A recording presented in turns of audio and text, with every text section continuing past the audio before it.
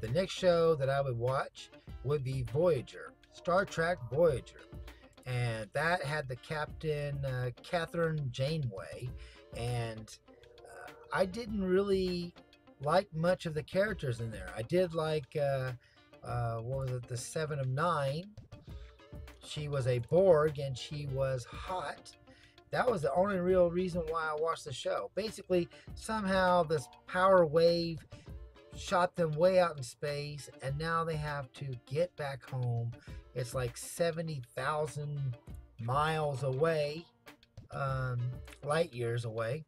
And so it's going to take a long time. It's going to take seven seasons to get home, seven years. And uh, over the time, they got help from people and like wormholes and all sorts of different things. And they got help, you know, they got pushed a little closer. So it knocked it down to, I don't forget how many years to whatever. Um, I think 75, wasn't it? And it got knocked down to 25 or something like that. No, 23. So it would have taken 75, but it got down to 23.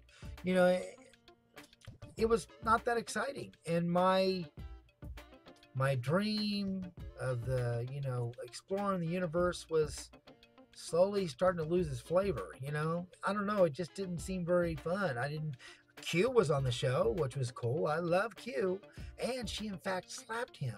Nobody else had ever done that you know? They get in his face they yell at him but actually slap q. Q that could kill you in a like that. So uh, I did watch several uh, episodes, but I did not watch the whole show. Um, it just wasn't the same, you know. And I did like seeing a wom- woman captain versus, you know, it's always been guys. That was cool. Uh, it just it seemed like to be the same kind of thing.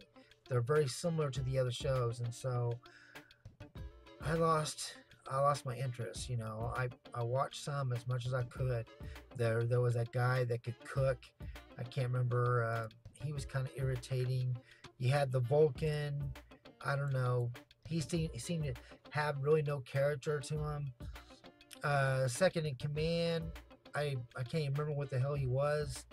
Uh, oh, the doctor. Now the doctor was interesting.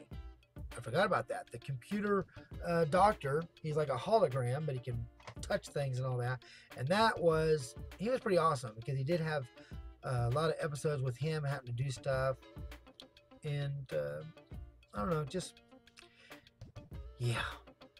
So, anyway, that was my feelings. The show just lost its flavor. And uh, I read that reviews on uh, Voyager was not very good. Uh, but that's just my opinion. All right. Thank you for watching. You guys have a good one, and God bless.